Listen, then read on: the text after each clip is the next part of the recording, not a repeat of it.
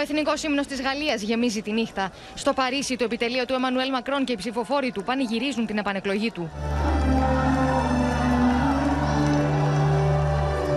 Ο Μακρόν γίνεται ο πρώτος Γάλλος πολιτικός που επανεκλέγεται πρόεδρος από το 2002 και το Ζακ Σιράκ.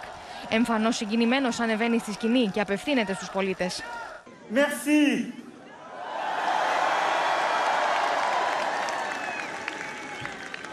Merci, chers amis. Chers compatriotes, ici à Paris et partout à travers le territoire, en hexagone, dans nos outre-mer, comme à l'étranger. Oui, avant toute chose, merci.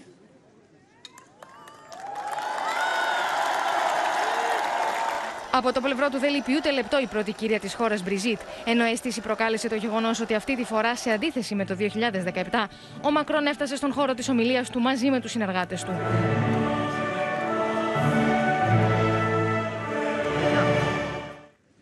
qui ont choisi aujourd'hui l'extrême droite; La colère et les désaccords qui les ont conduits à voter pour ce projet doivent aussi trouver une réponse.